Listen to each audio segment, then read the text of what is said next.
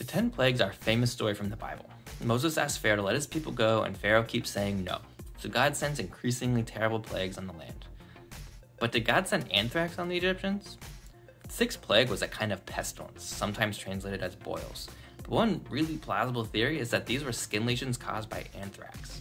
The bacteria that causes anthrax naturally occurs in the soil and may have been given to humans by flies, which is listed as the fourth plague. So it's not entirely clear from the text, but it seems pretty plausible that biting flies transferred the anthrax bacterium to the people of Egypt and created the plague of pestilence. What do you think? Let us know in the comments. Be sure to like and subscribe for more.